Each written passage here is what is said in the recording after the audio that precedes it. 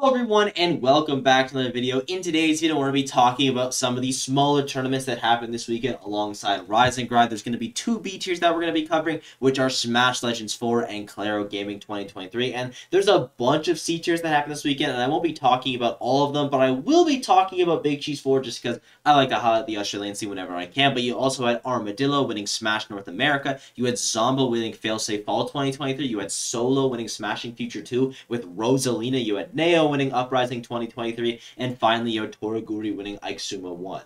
So let's kick it off with the smallest of the three events, which is going to be Big Cheese 4 coming in at a C tier. And for our top eight, you're going to have Luma and Malakoff in seventh, Taicho and Zav in fifth, Heaven in fourth, Extra in third, Bro 1 in second, and you had Strix winning the entire thing. Now, this tournament was not your typical tournament, at least in the pools phase, because they had a Gauntlet S style pool. One player is going to be eliminated, one player gets moved to round two, and then the second and third place just have to play someone in round one. So, because of this, you did have a couple couple weird scenarios in the seeding. The biggest one was going to be Strix versus Ghost, and there were only two players that were seeded to make top eight this event that ended up not making top eight, and they both lost the same player in the loser side. So we'll get to that when it happens, but you're going to have Ghost losing to Strix in the winner side going game five, the only time this tournament that Strix ended up going game five, and you're going to have DD falling to heaven in the winner side. And again, I'll talk about the losers eliminations when we actually get to that player editing ProofBlock here, the pools actually had five players in them, but it works the same way. You're going to have the bottom two being eliminated. Second and third place are going to move on to round one, and first place is going to get a bye to round two. And the reason that Ghost and Strix had to fight so early on was because Goon actually was able to beat Ghost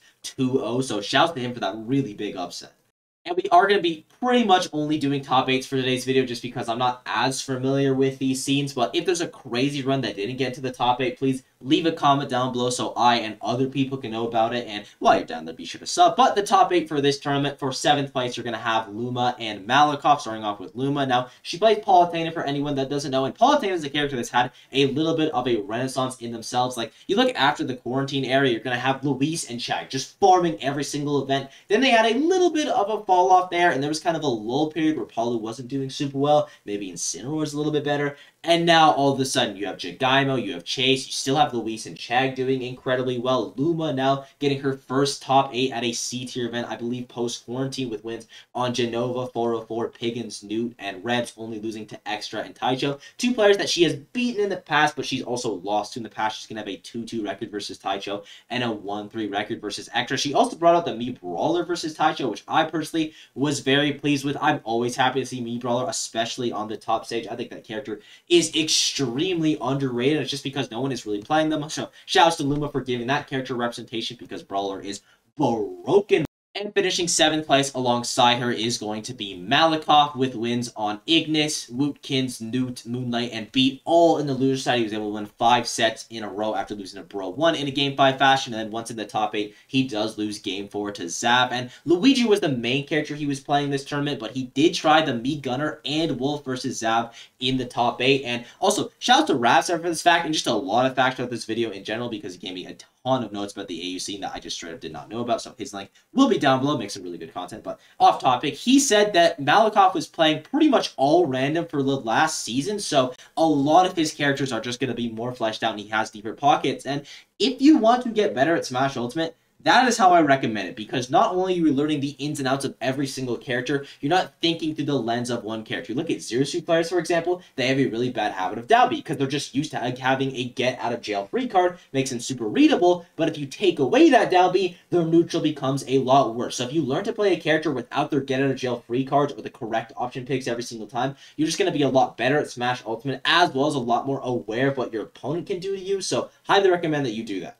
In fifth place, you're going to have Taicho and Zap. Starting off with Taicho, he was able to pick up wins on Wootkins, William, McCarp, Con Gaming, and Luma, only losing to Bro 1 twice. The first set was going to go to Game 5, and the second one was going to be a 3-0. Now, uh, Taicho, one of the two players that was not seeded to get top 8 that actually ended up getting into the top 8 of this tournament, so huge ups to him for that. And another Greninja player having success. You're going to have Tarik getting 5th place at Rise and Grind, Taicho also getting 5th place here. Is Greninja a good character, maybe making a comeback? Honestly, I don't know. He's a character with some very glaring issues, but also there's a lot of top tiers with some pretty big issues in this game. You look at Aegis and Cloud, those characters' recoveries are trash, but you still have people being incredibly consistent with them. So Greninja is a character that I do believe you can take the top, but we're going to have to wait until players like Taicho, like Tarik actually start doing it. And to be fair, this is an amazing start. But the run of the tournament is easily, in my opinion, Zav. He was able to win six sets in a row in the loser side after losing very early on to P9. He also got upset by John Bombo in the group stage rather than the gauntlet stage. So shout out to John Bombo for that one. Also just a fire name. But this loser run so good. He was able to beat Chef,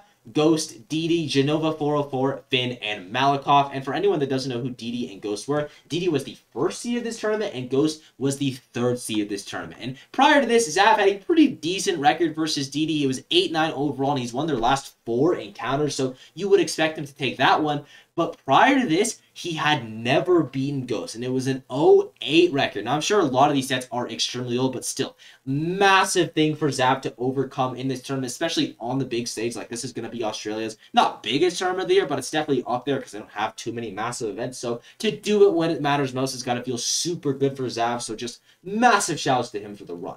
Editing ProofBlock here. I don't know if I already said this, but I couldn't find in the video. Zav is going to be playing Peach, and then he has a Min Min secondary as well.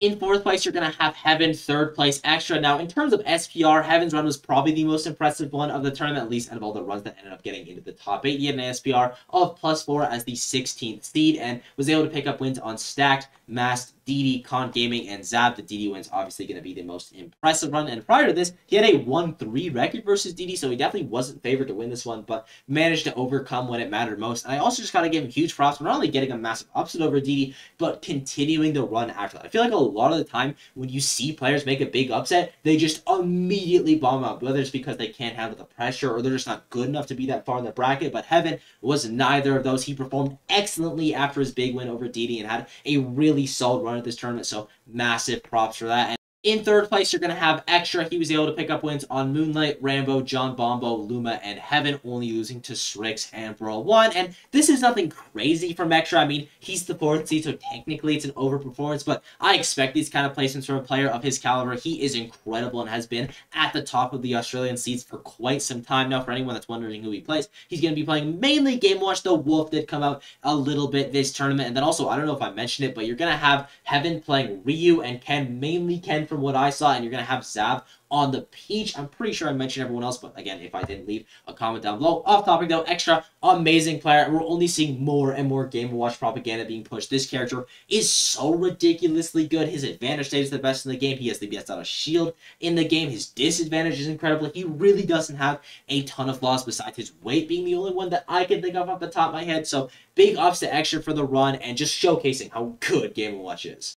In second place, you're going to have Bro 1 and winning the entire thing with Strix. And I got to praise Bro 1's mental at this tournament because he lost two matches in the pools to both Macarp and Jamie, but he did not let that affect him at all going into the main bracket where he was able to beat Fen. And then the next three sets are all game five in Malakoff, Taicho, and Finn. Once in the top eight, he loses to Strix in game four, gets the run back versus Taicho. I mean, I guess he won the first set, but this time it was 3-0, as well as beating Heaven and Extra before losing to Strix once again. But to be able to bounce back from that is super impressive. And I know that Bro 1 plays a multitude of characters, but from what I saw the tournament, Wolf was doing like 99% of the work. So shouts to another Wolf player getting some really good results. Our big winner is gonna be Strix. Managed to take this tournament without dropping a set, beating Ghost in the game five, as well as P9 beat Bro 1 Extra and Bro 1 once again. And Strix is one of the best players in Australia. He has been for a little bit now, as well as the Australian player with the highest peak. I think out of any of them, as he was able to beat Mia at Ruby 9. Like, there's been a couple other really nice upsets from Australian players. Kanaji beating Pro Bonham comes to mind, but beating Mia, a top three player in the world, even if the matchup is bad, is super impressive. He's also the only Australian player to win two C tiers this year. Shouts to RavSav for that fact, because he was also able to pick up a win at the action, as well as this event right here. And I do believe that if Strix was consistently traveling, he would be a top 50 player in the world. We haven't seen him go to a ton of international events, but whenever he has, he's always looked fairly impressive. And Sephiroth is a character that I have pretty much zero faith in, but Strix makes this character look actually pretty good. So really, really hope I get to see more of him, especially outside of Australia, because I just want to see him facing new talent. And I think he can pull off a couple serious upsets. On to our next event, which is going to be Claro Gaming 2023. For the top eight, you're going to have Mandy and Toguro in seventh, Olmart and Yorbro in fifth, DC in fourth, Shaka in third, Capitan Cito in second, and winning the entire thing with Sonix. And we had three top eight seeds that ended up not making it into the top eight. You're going to have Naranja, who ends up losing to Ahmet and Toguro, and Ahmet over Naranja might have been the biggest upset of the tournament, at least in terms of SPR. You're going to have Chaz losing to Mandy and Yorbro, two players that ended up getting into the top eight, so not the end of the world. And finally, you're going to have Kodo, who ends up losing to DC and Happy. In seventh place, you're going to have Mandy and Toguro, and I want to preface this by saying I know very little about the Dominican Republic scene. Pretty much everything I know about the scene was because I was doing research for this video, so it's not going to be as in-depth, but I still do want to highlight these players because they're all extremely talented, and Toguro, he was able to pick up wins on Maeve Troy, Naranja, and Garbel. Shout out to Garbel for not only placing ninth in this event, but also getting a really big win over Omar, but back on topic, Toguro, he was using a majority Mario, though he did have a Luigi secondary that came out from time to time, which is a very interesting character combination because there's kind of two routes you can go when you have a secondary. You can either play a character that's an opposite archetype or you can play a character that is the exact same archetype. And I would definitely say that Mario and Luigi are similar archetypes, but they have different tempos. Mario is just a more of a fast-paced character just because he's a quicker character in general, as well as his grab not being as slow as Luigi's grab. So if you're playing these characters at different paces, which can definitely catch your opponent off guard, but you're also going to probably struggle in the same matchup. So it's a really interesting choice. And it did work out for Toguro here. I mean, he was able to make top eight of the event, so clearly something is working about that combination, even if it is just a Mario. And then our other seventh place finisher, Mandy, was able to get wins on Chaz and Sabib 01. At least I think that's how you say that. And Mandy is going to be playing Fox. Now, Fox is also a character that's been in the limelight as of late because Light, he's the only Fox player. All of a sudden, he's not the only Fox player. And he actually hasn't been the only Fox player for a long time, but people haven't been able to reach his height. And I do believe that Fox is a late game character. So it makes sense that people are just starting to get good results with Fox that aren't named Light. And Mandy, it's not like he's been an unknown player in Dominican Republic, but DR isn't a region that has a ton of big events. So it was really nice for him to be able to showcase himself by getting top 8 at this one. Also, I just forgot to mention this, but Mandy was the 13th seed of this event, so he was one of the players that wasn't seeded to get top 8 that managed to do so. In fifth place, you're going to have Yorbro and Omar. Yorbro was the 11th seed of the event, so another player that was not seeded to get top 8 that ended up doing so. He was able to pick up wins on Amet, Chaz, and Toguro, only losing to Shaka and DC. And Yorbro, at least to my knowledge, played solo Kazuya at this event, and solo Kazuya is not something that is super common nowadays. You look at the top three Kazuya players in the world, it's going to be Riddles, who has the Terry, T, who has the Pac-Man, and Tarik, who has the Greninja. And Tarik doesn't even really play Kazuya anymore, so maybe he shouldn't be on the list, but you get my point. It is not a character that you can solo main in the current meta just because people are really strong in the counterplay. Like, Kazuya is a character that, in my opinion, has already plateaued. Can you zero death off electric? Great. That's all that you are going to be learning with this character. There's not a ton more that you could advance the meta with, but the counterplay versus Kazuya is going to continually get better. And I'm sure there'll be one or two more Kazuya combos that are actually pretty important that get developed, but you get my general point. I think people are getting better better at playing against Kazuya, so when someone is able to make a run like Yorbro did here, it makes it that much more impressive for me. And then his counterpart, Omar, who ends up getting fifth place, he was the seventh seed of this event, so nothing crazy, even though it is an overperformance. He was able to pick up wins on Raikar, Suri, Sharpie, and Mandy, only losing to Garbel and Shaka. And he's a Snake player. I love watching Snake. There's not a ton of analysis to go into there, but just another Snake player getting really good results. You got DC in fourth, and third place is Shaka. Now, DC was the 12th seed of this event, so I think in terms of SPR, this is the most impressive run. He was able to pick up wins on Sir E, Kodo, Mandy, and Yorbro only dropping sets to Sonix and Shaka. And DC plays Rob for anyone wondering, and Rob is a really interesting character because one of the most represented characters in this game, really broken, I think in my opinion, kind of undisputed top 10. But you don't often see Rob players getting into the top 8 unless their name is Zomba. Now, I know that Anathema top 8 at Rise and Grind this past weekend, but for how popular this character is, it's not often that you see them going super far in a tournament. So, massive props to DC for being able to make this run so deep. And Shaka as well ends up getting third place. He's the third seed, so nothing super crazy there, but he's able to pick up wins on Yorbro, Omart, and DC, only losing to the second and first place finishers respectively. And he plays Joker, so you know that gameplay was nasty. He also brought out the Mewtwo versus Sonic in game two and three. And even though it didn't end up working out, it's a very interesting counter pick. Mewtwo's not a character that we get to see all the time, so it's always nice to see him at the top level. Editing ProofBlock here, just thought I should mention the Rob point is relative to how many Rob players there are. Like, there's still a handful of raw players that are top 8 these pretty big events, but when you look at how many insane robs that there are, it's actually not that many. And our grand finalists are going to be the top two seeds, exactly who you expect. In the order you expect, Capitancito in second and Sonix in first. Capitancito still picking up wins on Senshi, Garbell, and Shaka, and Sonix picking up wins on Punisher, Sabby, Sharpie, DC, and Shaka. But when it comes to Sonix versus Capitancito itself, you're going to have Capitancito actually taking the first set, game four, and then the last two sets, Sonix is going to win both of them. Both those sets going to game five. And this is just an example of players knowing each other extremely well. Sonix and Capitancito have so many reps versus each other. They've been the top two of DR for what seems like a little bit now. And because of this, they just know the ins and outs of their character and more specifically, the ins and outs of the player, the habits, and those make the most entertaining sets. I highly recommend that you watch the grand finals of this tournament because it was an absolute banger. We got to see Sonix pop off, which never happens. That's how you know this was a super important win for him. And I mean, beating your boys in the grand finals is more important than beating the best player in the world in the grand finals. Also, I just forgot to mention this, but the production at this event was insane. And our final event is going to be Smash Legends 4 for the top 8. You're going to have Luis Fur and Ed in 7th, MVD and Rocks in 5th, SkyJ in 4th, Alan Dis in 3rd, Waka in 2nd, and winning the entire thing was Spargo, and we get two top eight seeds not getting into the top eight, which are going to be Chag losing to Luis for an MVD, and Wolfen losing to Sky J and Ed. And also, shout out to Wolfen because his banjo actually cooks. In seventh place, you're going to have Luis Fur and Ed. These are both our players that actually were not supposed to be in this top eight. You're going to have Luis Fur as the 12th seed and Ed as the 11th seed. Luis Fur was able to pick up wins on Axel.exe, Chag, and Robot 3050 or 3050. I'm not actually super sure how you pronounce that, but he plays Snake, so shouts to him for that. You're going to have Waka, who plays Luigi, which is a very bad matchup for Fox, and MVD being the only players that were able to beat Luis Fur this event. And the Chag win is especially impressive. Yet another Fox player coming into the room, getting a result that isn't named Light Fox is just a late game character, and now that we're in the late game, you're starting to see him get some pretty good results. And as well on the game watch, that's a character that's been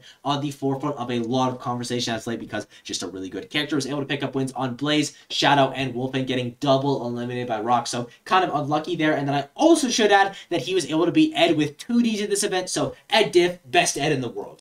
In fifth place, you're going to have Rocks and MVD. MVD is able to pick up wins on Hat Trick, Romeo Santos, Chag, and Luis Ferd. I believe he's the only invader of the event, at least from America, and he did pretty well, overperformed his eighth seed. And MVD is just an extremely underrated player, and I kind of get why he's playing Snake. There's a million good Snake players to talk about, and he also just doesn't go to a ton of events, but MVD is still one of the best Snakes in this game. His Nikita usage is still the best in the world, kind of significantly in my opinion, and I've seen what Hurt can do with that move, so that's a pretty big statement for me. And MVD is overall an incredible player that I just really want to see more of because he's real good, and I like watching Snake. And speaking of characters that I like watching, Rocks, our other fifth place finisher, is going to pick up wins on Ed, MT Cat, and Ed again, as well as Kira. I just forgot to mention that one. But one of the best Sheik players in the world, and Sheik is also a late game character, so it makes sense that we're starting to see her results kind of on an upswing right now. You're going to have I'm doing really well, WebJP is doing really well. Mr. R isn't doing as good in 2023, but he has been getting results. And Rocks, a player that we don't get to see travel too much. We saw him at he had a really nice performance, and at this event, he just looked very, very strong. One of the best Sheik players in the world was able to take Alandis and Walker, the two players that he lost to, to game five and is overall just cracked at the game.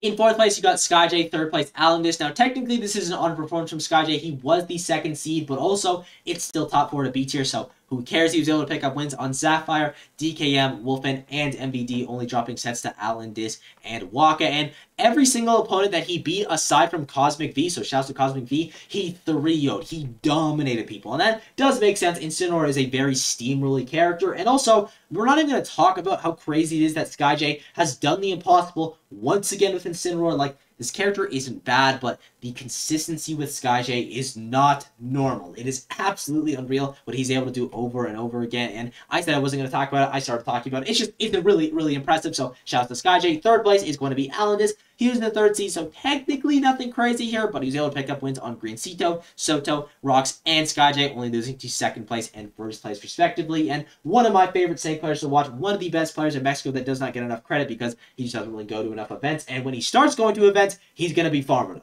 and our grand finalists are Waka in second and Spargo in first. Waka picking up wins on Taco Bros, Vanitas, Luis Fur, Rocks, SkyJ, and Alan Dis, only losing to Spargo twice. And he was also the only player at this tournament that was able to take a game off Spargo in the winter semifinals. So big ups to for that. I think Waka is in contention for the best Luigi in the world, but it's just kind of tough to tell it because he doesn't go to a ton of events, and Mexico itself just doesn't have a ton of events to gauge from. But whenever we do see him performing, he looks incredibly impressive, and he's got some really solid placements under his belt. So I think if we could see Waka traveling a little bit more, he could be the best Luigi player in the world. I think he has the talent for it, just not the results quite yet. So we'll have to see how that does unfold. And then Spargo, he won the event not really a shocker to literally anyone. Only dropped a single game to Waka, beating Yuka, MVD, Waka twice, and Alanis. He's the second best player in the world, maybe third best player in the world. Ooh, but that's a discussion for another time. So him winning this event is not a surprise at all. Also, he 3 0'd Waka in the grand finals using Byleth just for that extra flex. And we did see Lucina come out this tournament from Spargo, which I was very interested by. Now, that Lucina came out in the only game he lost the entire tournament, so we're not going to talk about that, but I just think it's interesting that he's trialing the character, and I thank you all for watching. I hope you enjoyed. I'm sure there's plenty of stuff I left out in this video because we covered three tournaments and stayed pretty much just in the top eight, so if there's anything I left out, got wrong, or if you just want to say hi, leave a comment down below. Be sure to sub while you're down there. The support has been absolutely unreal as of late, and I'll see you all in the next one. Bye-bye!